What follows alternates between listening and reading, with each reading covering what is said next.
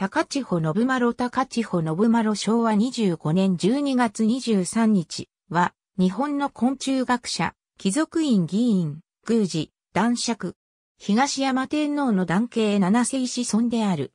中納言、徳大寺実常の次男として、京都に生まれる。1870年、一家で東京に移住。父実常は明治天皇の自重となり、公爵の位を受ける。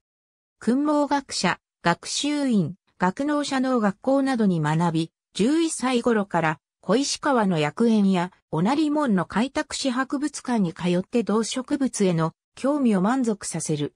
1877年、学習院に入学。昆虫の標本作りに熱中する。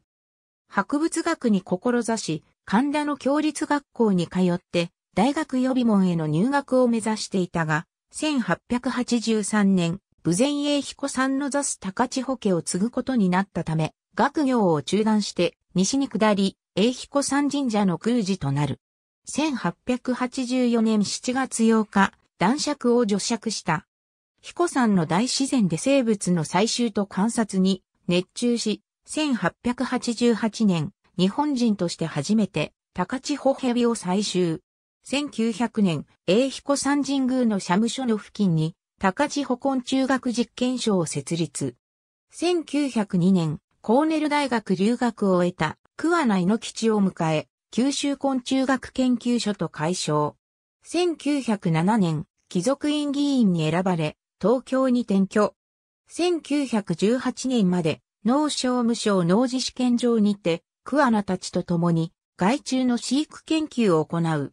1913年からは、東京帝室博物館天産部にて、昆虫標本を整理。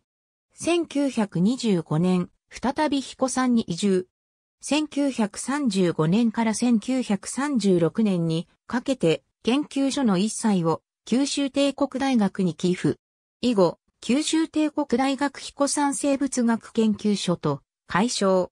自らもこの研究所で食卓として勤務した。1950年、85歳で死去。母は山内豊介の娘、加藤子。父方の叔父に、西園寺金持ちがいる。ありがとうございます。